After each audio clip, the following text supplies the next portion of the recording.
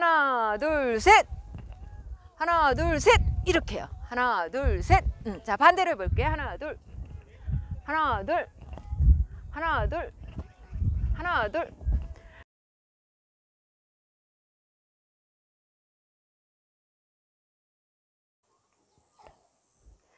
안녕하세요. 힐링 노하우 소울쌤이에요. 어, 오늘도 레슨 2 고관절 풀기. 에, 조금 동작을 깊게 해볼게요.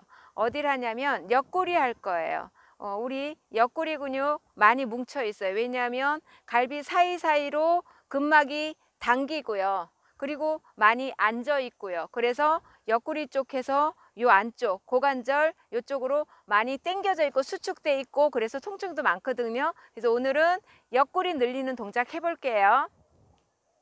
자, 옆구리 늘리는 동작은 앞 영상에서 조금씩 했어요. 어, 벽에 붙어서 그냥 이렇게 늘리시는 동작 했어요. 그렇죠? 어, 요거 간간히 하셨으면 많이 늘어나셨을 거예요. 이런 거는 기본으로 그냥 하시는 거예요. 옆쪽으로 어, 고관절 밀면서 스트레칭 해주는 거. 자, 오늘은 팔을 올려서 해볼게요. 한쪽 올렸어요. 자, 반대편 팔을 뒤로 잡을 거예요. 어, 머리 뒤통수로 해서 이렇게 잡으시는 거예요. 이렇게. 이렇게 해서 자 어느 쪽으로 넘어갈 것 같아요? 이쪽으로 넘어가는 거죠. 팔을 당겨주면서 이렇게 넘어가는 거죠. 자, 바로 하고요. 그냥 넘기는 것보다 팔을 들어서 옆으로 넘겨주면 늘어나는 부위가 범위가 더 넓어지겠죠. 반대쪽 할게요. 올리고요. 이렇게 잡으시면 안 돼요. 앞쪽으로. 뒤쪽으로 해서 머리 뒤를 통과해서 이렇게 잡으시고요. 귀에다 딱 붙이세요. 붙인 다음에 몸을 바로 세우시고요. 그대로 당기면서 옆으로 넘어가요. 자, 이때 시선이 이렇게 되면 안 돼요. 그러면 바로 옆이 늘어나는 게 아니고 등이 늘어나는 거거든요. 우리는 지금 옆구리를 늘리는 거기 때문에 이 자세가 아니에요. 자, 정면을 보시면서 이렇게 바로 곧바로 옆으로 내려가시는 거예요. 이러고 오랫동안 머물러 계셔도 돼요. 지금 제가 다리를 붙이고 있는데 다리를 벌리고 하셔도 되죠. 다시 반대쪽 해볼게요. 다리를 벌리고 다리를 벌리고 무릎을 세우셔야 돼요. 항상 무릎을 이렇게 어정쩡하게 놓지 마시고요. 힘을 빼지 마시고요. 이 무릎을 그 뒤에 오금을 쫙 당기면서 무릎뼈를 위로 끌어올린 듯한 느낌으로 서시는 거예요. 그래서 이렇게 잡으시고요. 그대로 넘어가요. 그런데 다리를 붙이고 하는 게 훨씬 더 많이 늘어나긴 해요. 이제 이건 이제 불안정할 때 하시는 거고요.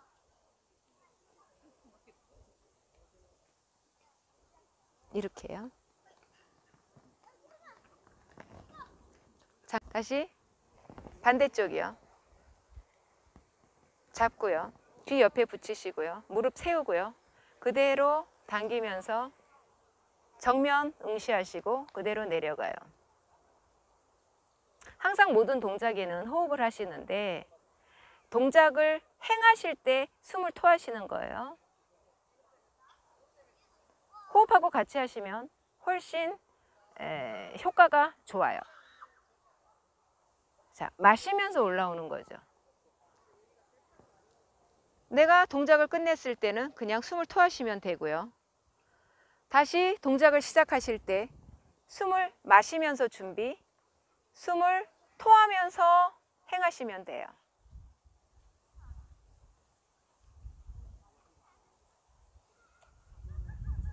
자, 배를 끌어당기고요. 이때 관략근도 조여주고요. 엉덩이도 당기는 거예요. 다리에 힘 빼지 마시고요. 그대로 내려가요. 계속 숨은 토한 상태.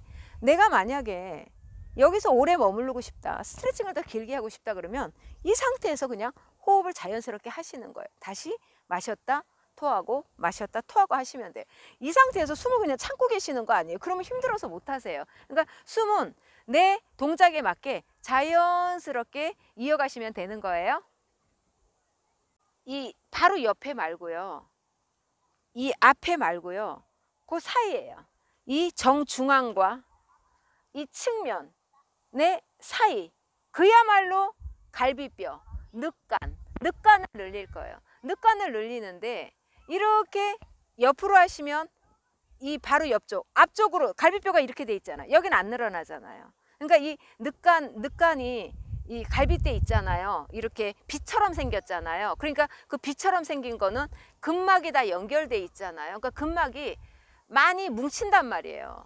그러니까 근막염이 많단 말이에요. 우리 몸에 통증이 일어날 때 근막염이 많아요. 근막 사이사이에 막 이제 뭐 속 안에 우리가 보지는 못하지만 막 엉켜 있고 어혈도 좀 있고 어 뭐 이렇게 좀 피곤해서 늘어난 데도 있고 쪼여진 데도 있고 이렇게 했죠. 근막들이 그 근막을 어 이렇게 좀 음, 탄력 있게 싱싱하게 원위치로 만들어주는 예, 그런 동작을 할 거예요. 자, 옆도 아니고 정중앙도 아니고 어디라 그랬죠?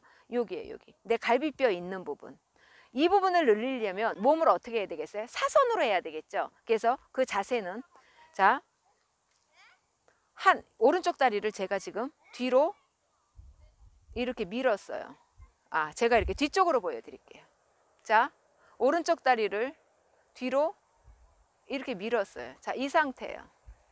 이 상태예요. 그러니까 자, 바로 뒤로 민 게 아니고요. 약간 틀어서 이렇게 내민 거예요. 그리고 이 무릎을 쭉 펴시고요. 앞무릎은 구부러져 있는 거예요. 이런 느낌이에요. 이런 느낌. 이런 느낌. 자, 깍지를 끼셔- 끼셔서 위로 올리시고요. 지금 왼쪽 왼쪽 다리를 저는 앞으로 내밀었잖아요. 이, 이 민쪽, 앞에 있는 쪽 갈비뼈를 늘릴 거거든요. 이 상태에서 왼쪽을 측면으로 늘리면서 하늘을 보시는 거예요. 자, 얘를 더 밀면 더 많이 늘어나겠죠. 보세요. 이거 아니죠. 이거 아니에요. 잘 비교해 보세요. 다리 모양은 똑같아요. 자, 이거 아니에요. 이제는 어떻게 한다고요? 이렇게 한다고요. 그러니까 여러분의 지금 요 앞쪽 갈비뼈 왼쪽 갈비뼈를 민다고 생각하시면 돼요. 그러니까 완전 옆도 아니고 완전 앞도 아니고 근데 이 자세를 하잖아요. 그러면 참 이렇게 많이 하세요. 이렇게 뒤로 많이 젖히신단 말이에요. 아니면 이렇게 옆으로 많이 젖히신단 말이에요. 그러지 말고 그 사이, 그 사이의 느낌을 한번 잘 느껴보세요. 자, 반대쪽 한번 해볼게요. 뒤로 뺐어요. 뺀 다음에는 앞무릎을 접어서 밀어주시고요. 뒷다리는 편 거예요. 그 상태에서 깍지를 끼고요. 이제 어떻게 해야 되겠어요? 지금 오른쪽 다리가 앞으로 나갔으니까 오른쪽 갈비뼈를 늘린다고 생각하고 이렇게 젖히시는 거예요. 45도로 젖히시는 거예요. 그러니까 시선도 앞도 옆도 아닌 앞과 옆의 중간 45도 상방으로 바라보시는 거예요. 이렇게. 그리고 앞무릎은 더 밀어주고요. 뒷다리는 더 펴주는 거죠. 이렇게 정지하고 잠깐 호흡하면서 기다리시는 거예요. 음. 다시 한번 보여드릴게요. 어, 이 왼쪽 다리를 앞으로 뽑아도 되지만 이 서 있는 상태에서 오른쪽 다리를 그냥 이렇게 뒤로 뽑으세요. 옆에 있는 다리를. 그래서 이 자세를 만드신 다음에요. 제가 왼쪽 다리가 앞에 나가 있으니까 왼쪽 옆구리 늘리겠죠. 깍지 끼시고요. 자, 앞도 아니고 옆도 아닌 45도 중간 방향으로 해서 쭉 미시는 거예요. 팔도 쭉 펴시고요. 어, 시선도 어, 45도 상방을 바라보시는 거예요. 뒷무릎 쭉 펴주고요. 엉덩이 조이시고요. 앞무릎 더 많이 밀어주고요. 배 끌어당기고요. 관략근 조이고요. 옆구리는 더더욱 많이 밀어주고요. 자, 이렇게 하시는 거예요. 자, 반대도 한번 보여드릴게요. 이 자세가요. 이 지금 이 옆쪽을 늘리는. 어, 제가 그 요가의 좋은 점이 뭐라 그랬죠? 비틀어서 어, 빨래 짜기 몸을 비틀어 짜듯이 물기를 쭉 빼듯이 이 비틀어 짜는 동작이 굉장히 좋은 거거든요 요가는 그러니까 이런 동작을 하시면 몸을 약간 이렇게 틀어서 꽈배기처럼 틀어서 짜주는 효과가 있어서 좋아요 근육들도 자극을 많이 해주고요 자 이번에는 왼쪽 다리를 뒤로 보낼게요 그러면 지금 이 자세가 되겠죠. 이제 오른쪽 갈비뼈 늘리겠죠. 그럼 정면에서 그냥 뒤로 넘어가지 말고 옆으로 넘어가지 말고 살짝 비껴서 이렇게 되는 거예요. 무릎 더 밀어주고요. 뒷무릎 펴주고요. 관략근 조여주고요. 물론 팔꿈치도 쭉 폈어요. 호흡 잘 조절하시면서 배도 끌어당기고요. 이게 이제 몸이 이렇게 약간 흔들릴 수도 있어요. 그러니까 중심을 딱 잡으셔야 돼요. 이 무릎에다가 힘을 주셔야 중심이 잘 잡혀요. 발가락도 어, 힘줘서 세우시고요.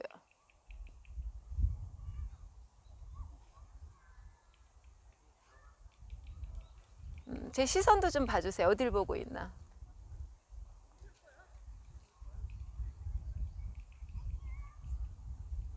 이렇게 되는 거예요. 음. 호흡 정리하시고요. 자, 그 다음에는요, 어, 조금 더 강하게 스트레칭 하는 동작이거든요. 어, 그러니까 이제, 에, 스톱 자세는 어떻게 되냐면, 이렇게 돼요. 이거예요.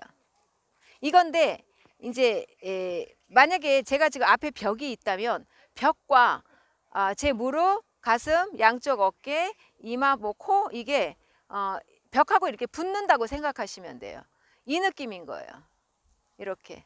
그러니까 이렇게가 아니고요. 이렇게요. 이렇게.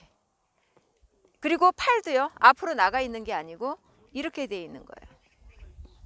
자, 지금 제가 어, 투명 벽이라고 어, 생각한다면 벽하고 이렇게 붙은 거죠. 이 자세예요. 근데 이제 요건 스탑 자세고요. 동작은 어떻게 하시냐면 예, 지금 이 자세에서 무릎을 뻗으시고요. 팔은 뒤로 오는 거예요. 그러니까 약간 이런 느낌이에요. 이런 느낌. 이런 느낌인데 앞으로 차고 뒤로 가고 이게 아니고 이렇게 요. 옆으로. 이 무릎과 이 팔이 무릎과 팔이 서로 수평인 상태로 이렇게 어, 서로 멀어지는 거거든요. 자, 이제 동작을 해볼게요. 하나, 둘, 셋. 이거예요. 무릎을 차 올리고요. 둘, 셋. 이렇게요. 무릎을 차 올리고 팔은 뒤로 보내는 거예요. 이때 허리를 한번 싹 비틀어 주는 거예요. 약간 강해요. 하나, 둘, 셋. 하나, 둘, 셋. 이렇게요. 하나, 둘, 셋. 음, 자, 반대로 해볼게요. 하나, 둘. 하나, 둘. 하나, 둘. 하나, 둘. 힘이 느껴지시나요? 제 동작을 보고 힘이 느껴지시나요? 자, 힘을 빼고 해볼게요. 자, 이거는 힘을 뺀 거예요. 모습은 똑같아요. 그쵸? 어. 모습은 똑같아요. 하지만 힘이 안 들어간 거예요. 무릎과 팔의 자세도 똑같아요. 위치도 똑같아요. 근데 이건 힘을 빼고 한 거고요. 하나, 둘, 셋. 느껴지세요? 하나, 둘, 셋. 하나, 둘, 셋. 하나, 둘, 셋. 아주 강하게 팔을 위로 들어 올리고 아주 강하게 무릎을 위로 올리시는 거예요. 반대. 하나, 둘, 셋. 하나, 둘, 셋. 하나, 둘, 셋. 이렇게 하시는 거예요. 오늘 보신 동작이요. 쉽지는 않지만 자꾸 해보세요. 흉내 내보시고요. 어, 자꾸 안 되더라도 해보시면 잘 되는 날이 있을 거예요. 그 이 동작이 잘 되는 날 여러분 옆구리가 엄청 시원해지고 거기다 보너스로 날씬해지세요. 다음 시간에 뵐게요. 안녕.